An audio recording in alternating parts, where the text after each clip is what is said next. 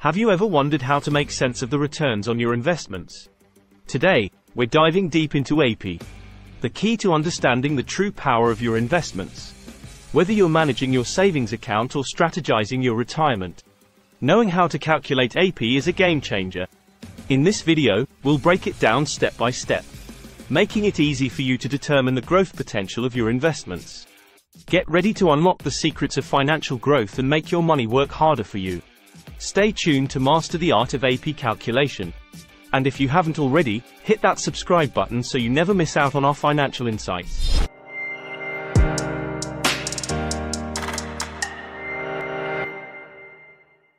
APY, or annual percentage yield, is a measure of the annualized interest or return on an investment or deposit account, taking into account compound interest.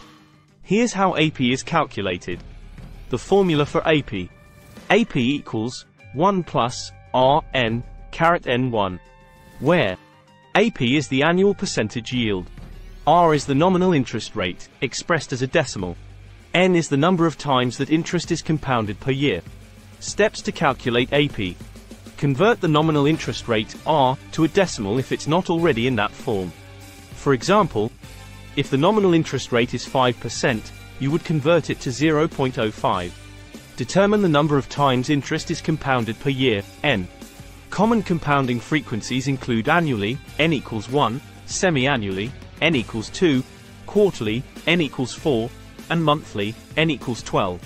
Use the formula to calculate the APY. For instance, if the nominal interest rate is 0.055%, and interest is compounded quarterly, n equals 4. APY equals 1 plus 0.054, caret 41. APY equals 1 plus 0.0125, caret 41. APY equals 1.0125, caret 41. APY approximately equals 0.050945 or 5.09%. So, in this example, the annual percentage yield, APY, is approximately 5.09%. This means that if you invest or deposit money at this rate, with quarterly compounding, you will earn a total return of about 5.09% over the course of a year. Keep in mind that the APY provides a more accurate representation of the actual earnings from compound interest, so it's essential to consider it when evaluating investment or savings options. The higher the compounding frequency and the nominal interest rate, the higher the APY will be. FAQ section. What is APY, and why is it important? APY, or annual percentage yield, is a measure of the annualized interest or return on an investment or savings account, accounting for compound interest. It's important because it provides a more accurate picture of the actual earnings on your investment compared to a simple interest rate. How is APY different from the nominal interest rate? The nominal interest rate is the stated annual interest rate without considering compounding, while APY reflects the actual interest earned, accounting for compounding frequency. APY is typically higher than the nominal rate. How do I calculate APY for an investment or savings account? You can calculate APY using the formula APY equals 1 plus R n caret n1, where R is the nominal interest rate, in decimal form, and n is the number of times interest is compounded per year. What is compounding, and why does it matter for APY?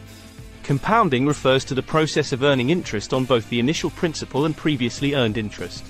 It matters for APY because it can significantly boost the overall return on your investment, especially when interest is compounded frequently. Can you provide an example of APY calculation? Sure. Let's say you have a savings account with a 4% nominal interest rate, compounded quarterly, n equals 4. To calculate the APY, you would use the formula. APY equals 1 plus 0.044, caret 41. The resulting APY would be approximately 4.06%. How can I compare different investment options using APY? Comparing investment options using APY allows you to make informed decisions. Simply compare the APYs of different options to see which one offers the highest annualized return on your investment. Is APY the same as APR, annual percentage rate? No, APY and APR are different. APY considers compounding, while APR does not. APR is typically used for loans and credit cards to represent the cost of borrowing. What factors can affect the APY on my savings or investment? Several factors can affect APY, including the nominal interest rate, compounding frequency, fees, and any changes in the interest rate over time. Can APY be negative? No, APY cannot be negative. It represents a positive percentage that reflects your earnings on an investment or savings account. Is APY guaranteed for the entire investment period? APY is based on the current conditions, including the nominal interest rate and compounding frequency. If these conditions change during the investment period, the actual APY you earn may differ from the initial calculation. We hope you found this video valuable in your quest for financial empowerment. If you have any questions or want to dive deeper into any financial topics, please don't hesitate to leave a comment below.